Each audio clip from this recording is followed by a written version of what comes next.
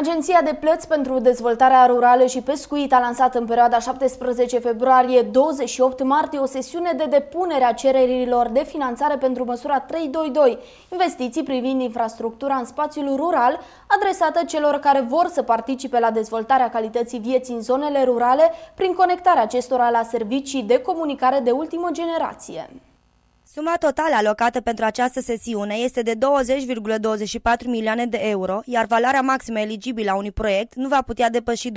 de euro. Beneficiarii eligibili sunt agenții economici care se încadrează în categoria întreprinderilor mici și mijlocii, conform legislației în vigoare și care activează sau urmează să activeze în domeniul comunicațiilor electronice. Sub măsura 322 își propune să sprijine în spațiul rural investițiile în crearea sau modernizarea segmentului de acces al rețelelor de comunicații electronice în bandă largă la punct fix, crearea Dezvoltarea sau modernizarea segmentului de distribuție a rețelelor de comunicații electronice în bandă largă, acolo unde acest segment nu există sau nu se încadrează în parametrii broadband. Rețelele realizate vor trebui să asigură o viteză de transfer de minimum 1 MB pe secundă, partajat pentru persoane fizice și minim 4 MB pe secundă, partajat pentru persoane juridice, conform caracteristicilor tehnice descrise de legislația în vigoare. În vederea implementării sub măsurii, conform atribuțiilor specifice în domeniu, Autoritatea Națională pentru Administrare și Reglementare în Comunicații Comisii a realizat în luna februarie a anului 2013, la solicitarea MADR, o listă a zonelor albe, respectiv a localităților din România situate în spațiu rural în care nu se furnizează servicii de comunicații electronice în bandă largă la punct fix,